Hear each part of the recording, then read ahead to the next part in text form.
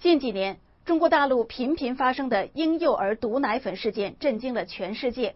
八月二十九号，本台记者采访了大陆著名作家《民以何时为天》一书的作者周晴，让我们一起听一听他是怎么样评价毒奶粉事件的。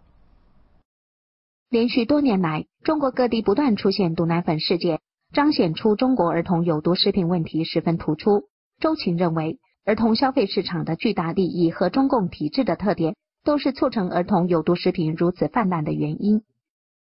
为什么会是儿童食品？因为儿童食品就是说，中国适龄儿童是一个庞大的数字，而中国所谓的基本国策是计划生育，呃，每一家都有孩子，给孩子无论是饮食教育上都非常舍得花钱。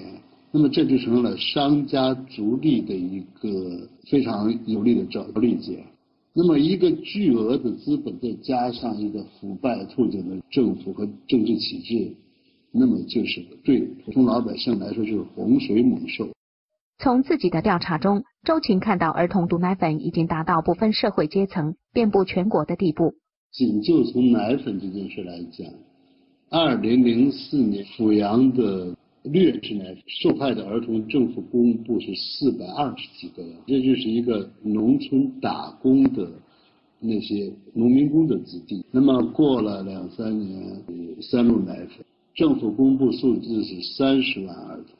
那么这个受害群体，中国的中小城市的儿童。紧接着到二零一零年，圣元奶粉出现儿童性早熟。仅上海就是三万受害儿童。由于儿童群体蕴藏着巨大的利益诱惑，导致不法商人铤而走险。周晴认为，这只是表面的原因。中共的一党专政是所有毒食品的罪恶之源。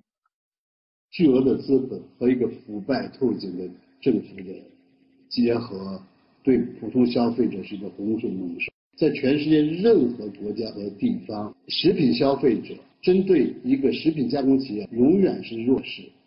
中国的大企业基本都是跟政府有千丝万缕的联系和勾结，这是一个方面。因为中国又是一个媒体严厉管制的国家，这样就导致了毒食品的愈演愈烈。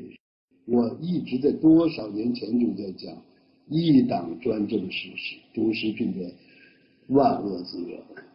周群来自陕西。二零零四年出版的《民以何时为天》一书，这本书获得了报告文学界的最高荣誉——德国尤利西斯奖。新唐人记者朴志、笑言采访报道。